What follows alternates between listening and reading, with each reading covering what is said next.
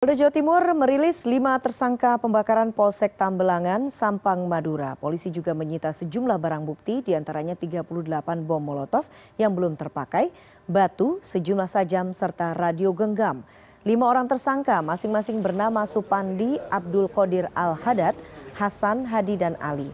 Menurut Kapolda Jawa Timur, Irjen Pol Luki Hermawan, kelima tersangka berbagi peran untuk membakar Mapolsek Tambelangan. Sementara otak pelaku atau aktor intelektual pembakaran diduga Abdul Qadir Al-Hadar. Polisi juga mengamankan seorang terduga yang hingga kini masih diperiksa.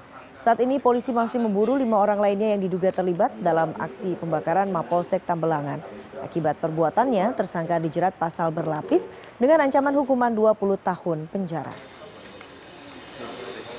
Saksi yang kami sudah periksa totalnya ada 17 orang saksi yang terkait dengan peristiwa tersebut dan uh, kasus ini uh, sementara kami kenakan di pasal berlapis yaitu pasal 200 KUHP, pasal 187 dan pasal 170.